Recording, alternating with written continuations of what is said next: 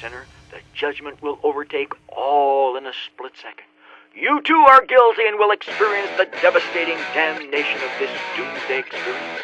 However, there is even stronger evidence to suggest from past analysis that our nation is specifically mentioned and pinpointed for oblivion.